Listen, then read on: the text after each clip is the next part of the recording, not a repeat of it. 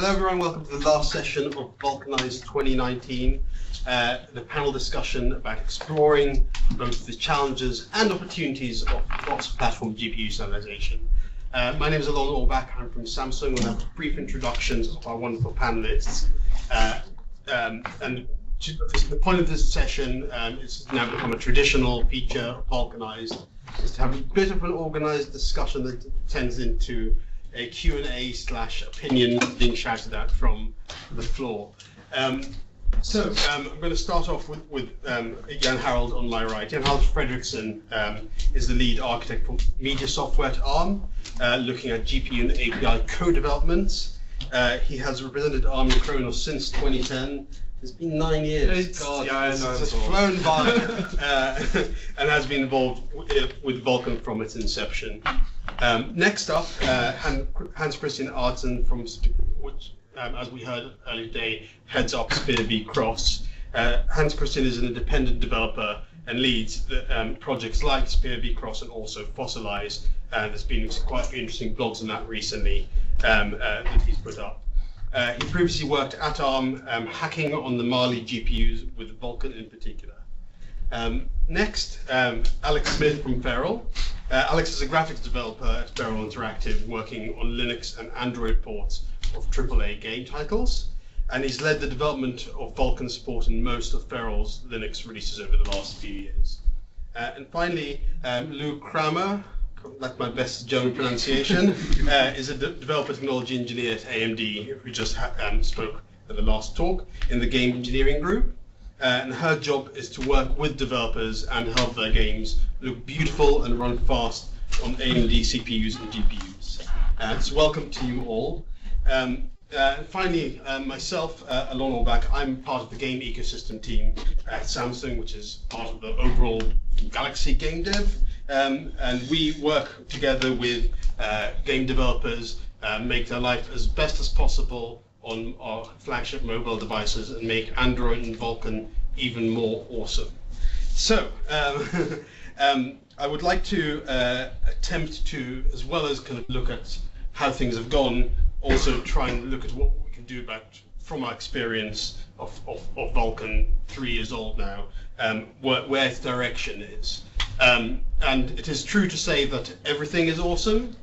Um, however, we have learned that some things are more awesome than others, I think is the correct way to phrase this, uh, which is what I'd like to explore today. But to start off, let's start off with a positive, uh, just to ease us in. Um, and wanted to ask the panel, um, starting with you, Jan-Harald, um, what, what feature in Vulkan are you most fond of and why? So, yeah, um, I'm not sure feature as such. Aspect. Aspect, yes, aspect is better. Um, so I think the the CPU load side of it, I'm pretty happy with. Um, so I guess we tried to do different things. So one was, you know, to make a API that was a bit more transparent, and so you sort of had less driver magic going on, um, uh, which would then make drivers run, you know, require less CPU cycles to do their work. Uh, and I think that part of it has worked out quite well. Um, I'm not sure the drivers necessarily got super simple. They still have some complexity to deal with, um, but they do require less CPU cycles, which leaves more goodness for everything else on the system. How about yourself, Kristian? Uh, it's kind of a weird feature to be my favorite, but actually having persistently mapped memory is my biggest, it's my favorite feature of Vulkan. It's, it's because, I mean, before in the old days of GL, before you had, well, if you're lucky, you have a good GL 4.5 implementation, that's like one in the world. Um, then you can have uh, ARB storage buffer, which was that's basically a core Vulkan. And just being able to map memory persistently, hammer that, it's visible by the GPU, either by host memory or directly to the GPU if you're unified architecture, and just not having to deal with the issues of you have to map a buffer and then unmap it and, all the stupid API overhead you get from that alone, and just being able to make your own scratch allocator for uniform buffers alone is like, well, yeah, it's my favorite feature. Being able to do that in standard core, no fuss, it just works. Alex.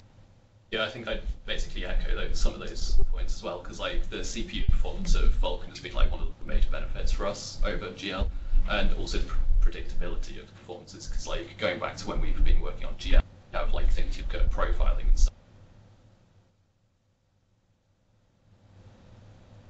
Don't know why we can't see into the, uh, see what it's doing, but then go to and it's like it's doing what you tell it. You know exactly what it's going to be doing. You know when it's going to be stalling to do certain things.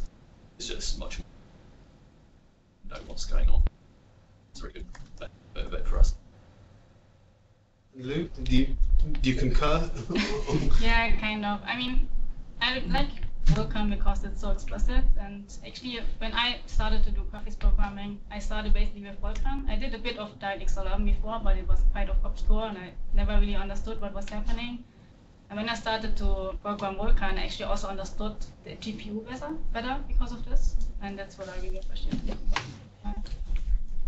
Before we del- delve into a couple of points raised there, can I just see an indication of how alive the room is? Um, uh, who might be jumping in with a question or a point of opinion at some point during the next hour? Don't, you, this is not committing fact. Just want to get an indication if there's anyone with something just on the tip of their tongue. Okay, a few hands. Okay, this is good. Um, but just in in terms of one of the key philosophies we try to, to um, bind ourselves by is the, the idea of no driver magic. Um, I'm definitely sensing the pressure to kind of mm, maybe there should be a bit of driver magic coming in. Do you think that's uh, something you hear um, either in the driver teams or in dev tech, um, or do you want more driver magic as a developer? Is is are we were we right, and and is that still holding tight? Sure. Right. Um, so I think we were right, um, but I also see that pressure coming, um, and so far I think mostly avoided. Um, but but the the pressure is so for for us as a driver developer, the pressure comes when oh suddenly there's an important title out there that maybe it does something stupid, and well, please make it go faster. You go, "Uh, no, come, to, we're not supposed to do that. We're not supposed to do driver magic. Um, and I think we're have held up so far on that particular front because uh, while Vulkan um, is intended to be explicit, it also makes it really, really hard to do driver magic. Um, so if it was easier to do, we may have been more tempted by now. Any any anything you'd like to have off your hands and being done back in the driver? Um, maybe like if there's, I don't wouldn't, want anything that's like like huge amounts of driver magic that's going to be just the driver doing tons of stuff behind your back. That's going back to things you can't predict what the driver is doing. But if it's just organizations here and there you can do, that's not gonna like it's not gonna hurt us or anything. Fine with that. Just saying like driver is doing.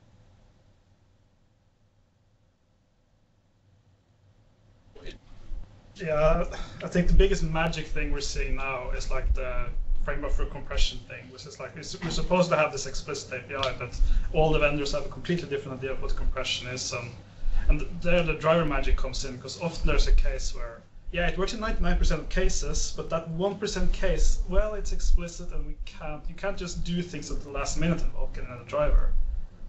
It's like, yeah, just disable it. And that, that's a case where, let's say, you're using an, a legacy API it might end up performing way better just because of the explicit drivers force drivers to be very slow anyway.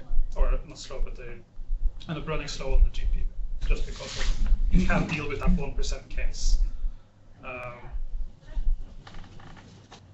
yeah, I'm, I'm kind of seeing the, the issue from both uh, both sides, both trying to hack on the driver and then trying to make applications run on drivers.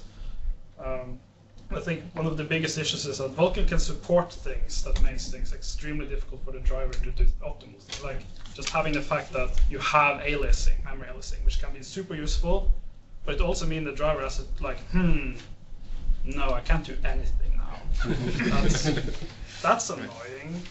And I kind of wish there was uh, from the beginning way to say, okay, this resource can never be aliased by any magic, or just do, do your thing basically. But that's impossible in some cases, some drivers, which is uh, frustrating. There, there are cases where the explicit nature actually hurts performance in weird, weird edge cases. Yeah, you, you touched on quite a few of those with DCC. Yeah, I mean, but like my experience with working with game devs is that they're usually they're kind of keen to understand what the driver is doing, and also understand why the driver is doing certain things related to the hardware. And if I explain the reasoning, usually they also understand, and they're not really asking for driver magic because I mean there are reasons why the driver has to do it this way. So yeah, that's usually understandable in this case. Yeah.